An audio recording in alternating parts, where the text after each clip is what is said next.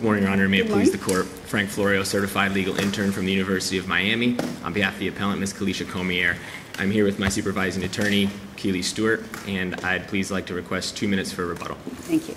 Thank you. Your Honors, we respectfully request that this court reverse the hearing officer's decision to deny Ms. Cormier education and training voucher benefits. This case involves the denial of a young girl to receive federal funds for her post-secondary education after aging out of foster care.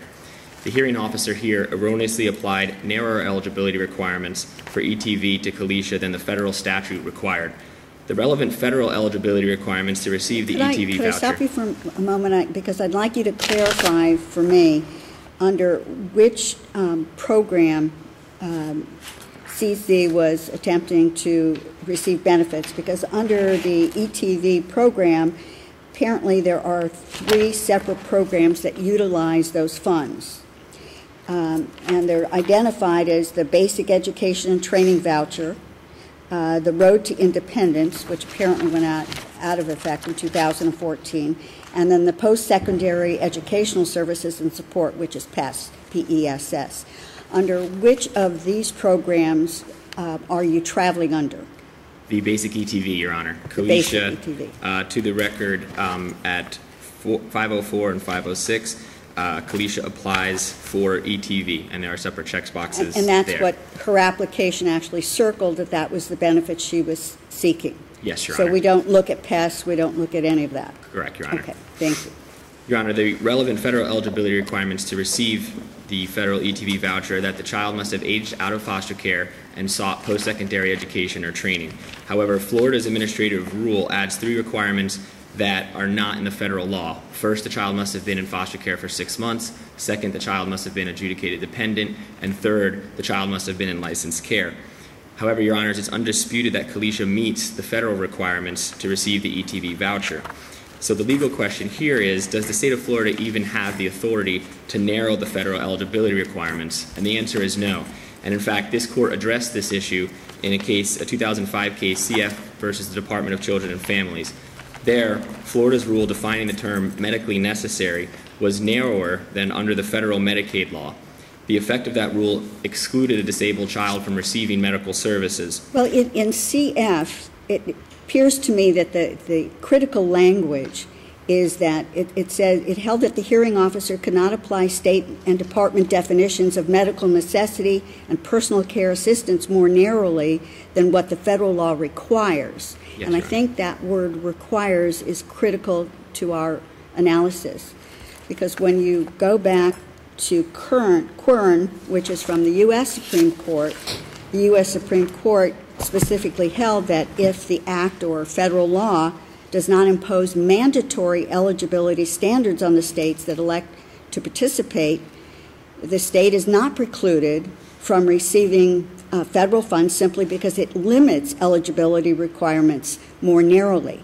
So in Quern, it appears the, the U.S. Supreme Court is saying that you have to look to see whether there's mandatory language, which in CF, it appears that when they looked at the federal law, it had that mandatory language because it required certain things.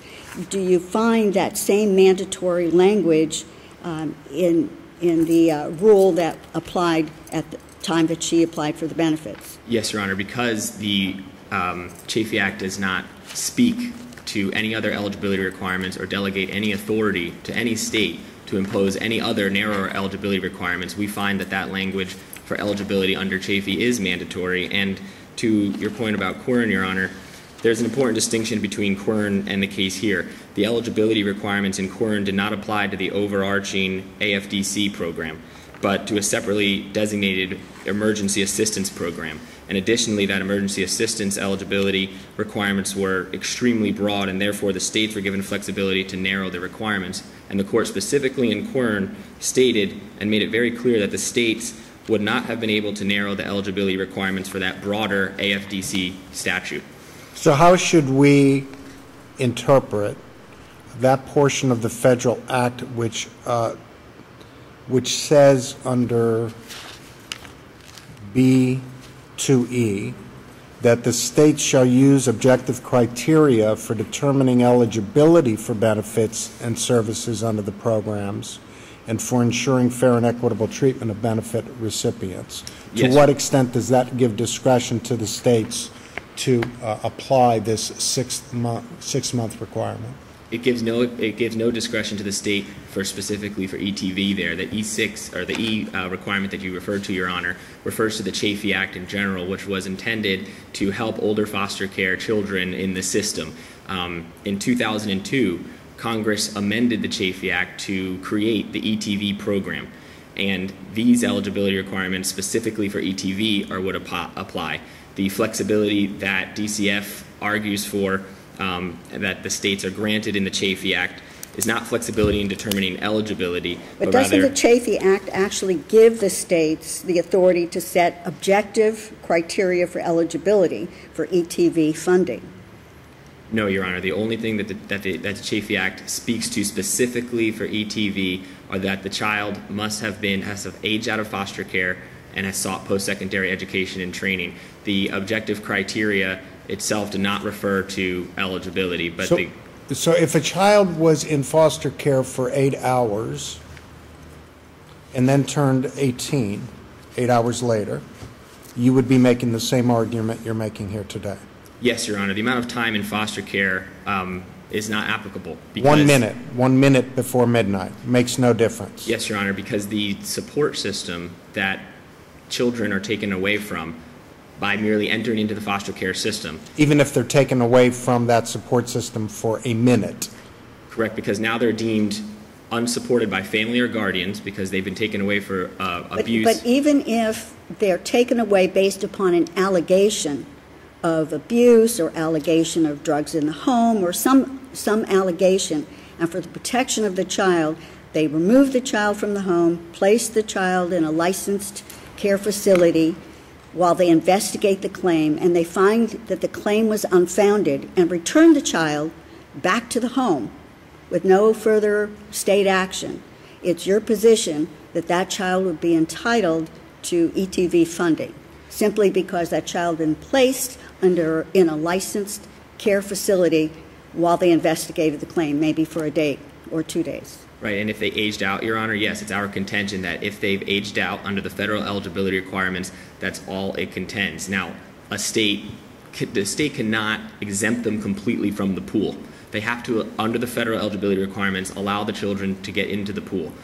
If there's some other mitigating factor after the fact, some type of design there, maybe. We don't want to put anything in the state of Florida's mouth, but that could possibly be it. But as long as it doesn't restrict the children from reaching the federal eligibility. So, to, your so Honor's to take point, this yes. to the extreme, and it applies a little bit in this case because CC, after aging out, left the country for a year and didn't apply for these benefits until she was 19 and a half.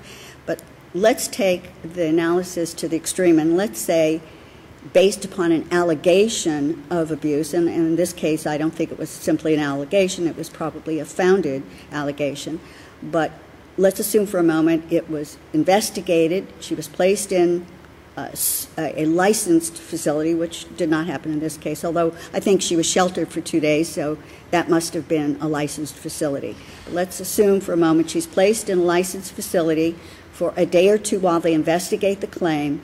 They find that the claim was unfounded. She then leaves the country for a couple of years, comes back maybe when she's 19 or 20, and now wants benefits. It's your position that she would be entitled to those benefits simply because at the time she was in that sheltered care, she aged out. Yes, Your Honor. And it's and to two points to that specifically. Um, the purpose of the act, deeming that a child is in foster care, they've been taken away from their family or guardian. Now the support for these children are the state, and in this case, the Department of Children and Family. When they age out of the system, they've now lost the family and guardianship support. They've now lost the support of the state. For So- a day or two. for a day or two, Your Honor, under the federal eligibility requirements, it does. And we can take the extreme to the other side, that Florida's uh, eligibility requirements for six months, 180 days, would therefore then preclude someone like Colesha if she was in foster care for 70 days, or for someone like Colesha, that what happened here to the facts of this case, that one of the, the second standard in Florida under the rule is to be adjudicated dependent. Her adjudication proceedings were delayed by a continuance from an attorney. That's under no fault of her own. So, Your Honor, if to read into the statute itself that a state may apply these eligibility requirements when it's not explicitly there makes the application of the statute arbitrary. Colesha could go to Georgia then Well, and but I- I possibly don't be think, there. under Quern, what we're doing is adding the may language to the statute. What we're looking at is whether there's mandatory language within the statute. And I have not seen any mandatory language, and perhaps you can point, point me to the mandatory eligibility stan, uh, standards um, that you contend are, are within the rule itself. Well, Your Honor, specifically to subsection A6, that's the amended language in the statute for ETV in 2002. Okay, I'm saying, And under, under, what are you traveling under, the rule? the Chafee Act itself, the Okay, statute, Okay, yes. under the Chafee Act, you're traveling under subsection, what? A6, A6 that was added when ETV was created and amended into the statute in 2002. Says to make available vouchers for education training, including post-secondary training and education to youth who have aged out of foster care. Right, and in subsection A above, it says the purpose of this section is to provide states with flexible funding that will enable programs to be designed and conducted, and then sets the eligibility requirements and the purpose for. If you look at the that part of the statute there, it shows what the flexibility is and is enabling the programs and the design and the design of the program. But, but it where's the language that says that the state must provide these services to any child who's been in foster care? Or does it simply leave that determination as to the eligibility requirements to the states? That is the only language that speaks to eligibility, and therefore, we, we read into the statute that there is, since there's no other explicitly spoken language that a Well, if you look under, under subsection two, under state plan, two E, well, it says, it begins with, "A plan meets the requirements of this paragraph if the plan specifies which state agency or agencies will administer, supervise, or oversee the programs carried out under the plan and describe how the state intends to do the following. A, design and deliver programs to achieve the purpose of this section, and E, use objective criteria for determining eligibility for benefits and services under the program and for ensuring fair and equitable treatment of benefit recipients. Doesn't that language seem to suggest that because the state is permitted to use objective criteria in determining the eligibility uh, for benefits, that there is no mandatory eligibility requirement? It's our contention, as I spoke to Judge Emas's point with that section E, that that objective criteria with the eligibility is referring to the broader Chafee Act itself and not specifically. But isn't that more the permissible scope? And then it leaves it up to the states to then determine the specific eligibility within that permissible scope? Well, as I stated, Your Honor, if that was the case, it would leave the statute and give it an absurd meaning, absurd meaning, and make it arbitrary from state to state. So now these children that age out of foster care, one state could have their own set of eligibility requirements, another one could have eligibility But requirements. if, if the federal government thought that that was unacceptable, then why would it approve Florida's program? You know, they have to submit the, the program, uh, the plan for approval, and this was approved by the federal government, which approves the plan submitted by all of the states. So the federal agency, HHS, that approved the plan was approving Florida's implementation of the act, not the eligibility. And even if it were, a federal agency cannot override federal eligibility requirements via the approval of a state plan. That's not the type of federal action like rulemaking or adjudication that gets the type of deference to then override provisions in a federal statute. And we cite to Bowen versus Georgetown, a Supreme Court case, specifically for that premise. Okay, Thank you. Um, We'll give you two minutes in rebuttal. Okay, thank you, Your Honor.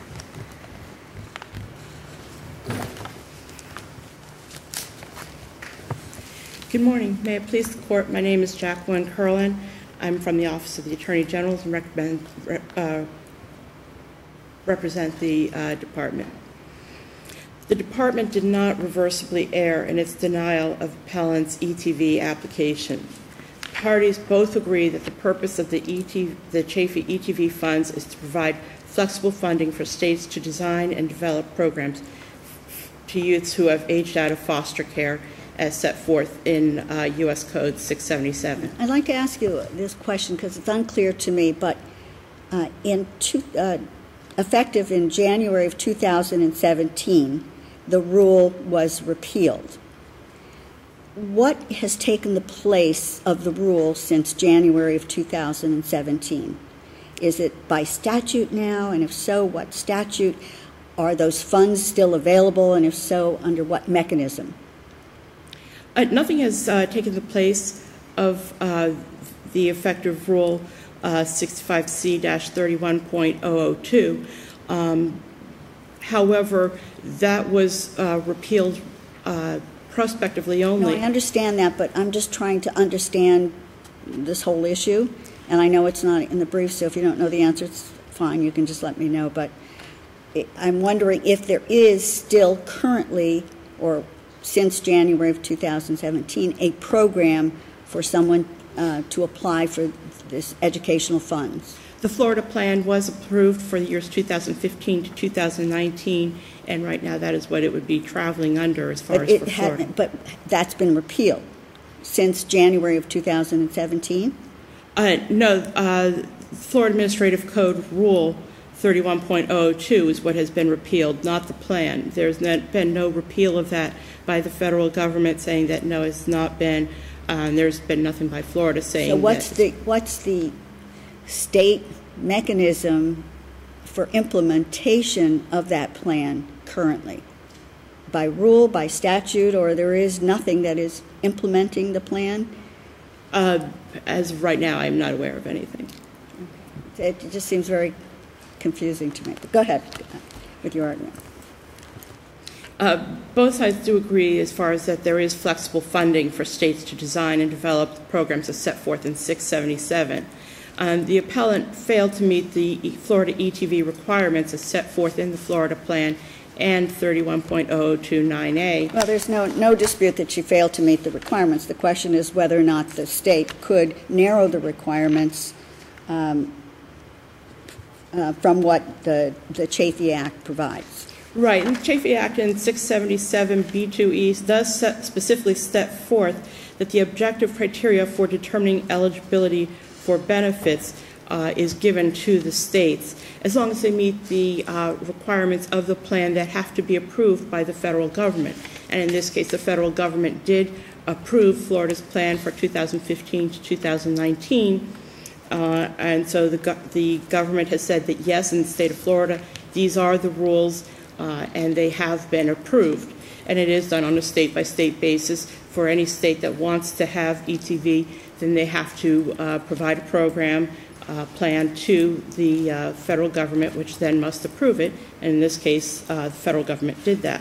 But she is, you agree, a youth who has aged out of foster care. She meets that definition under uh, the Chafee Act, yes? Yes, by a little over one month. Okay.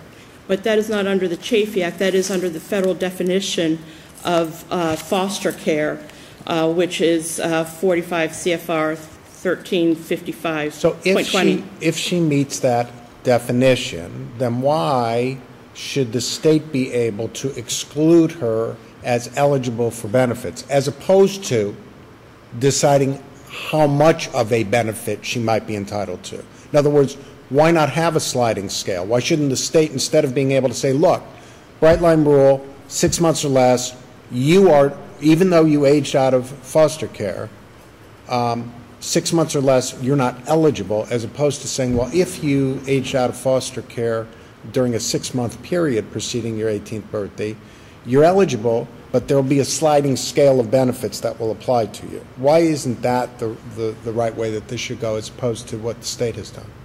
That was addressed by the uh, federal government when it drafted 677B2E, uh, when it stated that objective criteria for determining eligibility for benefits and services. So it gave to the states the, uh, that decided to uh, have a plan, it gave to the states the ability uh, to give objective criteria for determining eligibility. And that is not a matter of a sliding scale, So it isn't an arbitrary application, as the opposition suggests. It's a discretionary application, leaving it to the states the decision on how to implement the statute, correct? I'm sorry? Your opposing counsel, or, the, uh, is it Mr. Lopez? Mr. Florio.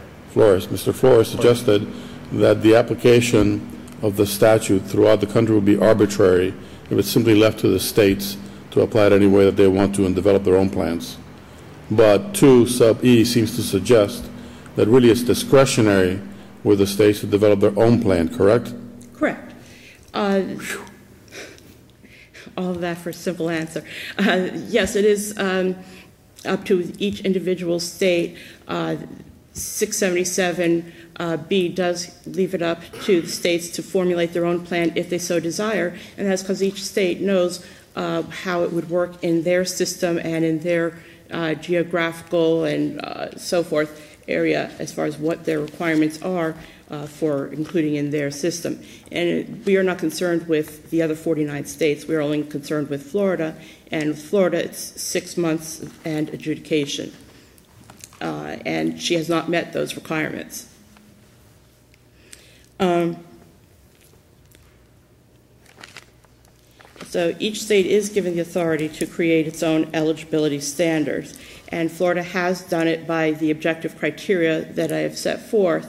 Uh, And 135520 states that foster care includes, but is not limited to placements in various shelters, uh, but it specifically says, but is not limited to. And in this case, that is uh, what happened with um, the appellant, is that she was in non-licensed relative foster care. Uh, However, nowhere in 677A6 does it state that the federal ETV funds are for all youths who have aged out of foster care, no matter how long they were in the foster care system. It is unclear, and it does leave the deference or the power to the states to make that decision as set forth in Section It's- B. It's similar, it's, it's exactly what Quern, what Quern um, addresses is whether or not there is that mandatory language. And if there isn't mandatory language, in Quern, the U.S. Supreme Court noted that, noted the general principle that um, states are free to set their own monetary standards of need and levels of benefits, but the states are not free to narrow the federal standards that uh, define the categories of people eligible for this aid. I mean, and that's, that's the argument of the appellant. But Quern then went further and examined whether those principles were to be applied to Illinois' emergency assistance to needy families and children um, under the, the Social Security Act. And they concluded that because neither of the, of the statutes um, the statute which makes AFDCA uh, and not emergency assistance eligibility criteria mandatory, or the statute which defines the permissible scope. Neither one of those statutes contained that mandatory language. It simply contained permissible scope. And so the court found that because um, there wasn't this mandatory language and because Congress historically always left the states with broad discretion in shaping these programs, that Illinois could, in fact, um, participate in the program and limit uh, the standards of, of eligibility. Isn't that directly on point as to the, our case? Because there is no mandatory language, but a permissible scope. And because the, the rule itself, or actually the act itself, um, provides for the states to set that criteria, that the states do have this broad discretion in shaping the program and the eligibility, pro, uh, eligibility requirements for the state. Yes, Your Honor, that is precisely it. It is precisely on point, and that is what we argued in our briefs, uh, is that Corn uh, does state that although uh, it, you cannot do it, the states cannot uh, create any narrowing of uh, requirements that are federal in origin, um, if there is mandatory language, the Chafee rule does supply that language that takes it out of being mandatory and leaves it to the state's individual powers and authorities and discretion uh, to narrow it or whatever, because it goes one step further and says that uh, the federal government not only gives you that power, but the federal government gives its stamp of approval here and approves of your particular situation, Florida, and that, yes, uh, we have approved of your uh, narrowing and limitations on the requirements. And you thought my question was long? Perhaps it's touched you to the side. So there has been no violation of the Fair and Equitable Treatment of Benefits Recipients Act either, uh, rule either, uh, because it was objective criteria. It was across the board that you have to be uh, six months in foster care before aging out, and you have to have been adjudicated dependent. And Your Honor was correct. As far as otherwise, you could, and, and Your Honor was correct, that otherwise you could have uh, someone who was in foster care for only one day, uh, and you know, it could have been that there were no, uh, no um, verified, that the allegations were not verified. Uh, And so then you have someone who went in the system for a day, maybe they just called because they were trying to get assistance, so they said this, uh, and so they may have been in there for one day, and then, and then uh, DCF says no, and the court says no, uh, you do not qualify for uh, foster care, go go back to your parents for the rest of that one day. And that would not be uh, proper because the purpose of ETV is to provide those educational training uh, funds for uh, Really, for, for children who've been in that foster care situation and going to have no support system whatsoever, and they've been dependent on the state for a period of time, and therefore, they don't want to just, you know, stop all the benefits that they've received as soon as they turn 18, and, you know, they're kicked out the door with absolutely no support system whatsoever. Exactly, someone who would be disadvantaged by it. And in this case, she was not disadvantaged, it was for a little over a month. And furtherance, in, as far as not being disadvantaged, is that she is, uh, been, has been receiving a tuition fee waiver, uh, which And, is, and Medicaid assistance. and Medicaid, yes. So And she has been receiving Medicaid. you're well I'm over sorry? your time. And in conclusion, because you're well over your time, And in conclusion, the department did not err in denying its appellant's ETV application. There's been no adjudication in no six months, and therefore DCF respectfully requests that the court affirm the final order below. Thank you. thank you. Briefly on rebuttal, Your Honors. First, to address the last point, it's not about the time that you were in foster care. It's about turning 18 in foster care, and then these benefits apply. Um, there is no proof of time requirements in the statute, and to say that Colesha was not facing any hardships, that Congress intended these ET vouchers to benefit. Colesha faced homelessness when she aged out. That's why she had to go return home and then come back. She was abused then back at home and, and then came back to continue her education, which is exactly what the federal eligibility requirements go to, and then she was denied her ETV voucher. We'd also like to agree with Judge Emas that, yes, states can formulate their own plan, but uh, it does not exclude, it cannot, they cannot exclude the class of people that the federal government was intending to support here. And to your point, Judge Rothenberg, that it's true. Colesha has the misfortune of timing here, because right now, as we sit here today, the only applicable eligibility requirements to receive federal ETV in the state of Florida are the federal eligibility requirements under the Chafee Act, because DCF has repealed the rule. And What, what is the effect of that repeal? That's what I don't understand. Why is that relevant? Well, first of all, because there's no language that retroactively applies it, but I would think that, that you would not even want to be arguing about the repeal, because if it was repealed, there would have been no mechanism for her to have applied when she applied, and she would not be entitled to benefits, because there would be no existing program if it was repealed and it, it applied to her. No, Your Honor, if the, if the I- I rule was applied, there would be no eligibility requirements set forth to ETV, other than the federal eligibility requirements, which now that's, that is a- as how So it the plan would still be in existence? It would be just the rule that would be, Correct, that's all that was repealed, was the rule, not the plan itself. We're not asking this court to invalidate the entire state plan, that's, that's not what we're asking. We're asking that the rule was invalid at the time it was applied to Colesha, and it's invalid now. has The- anything taken the place of that rule that was repealed, a statute?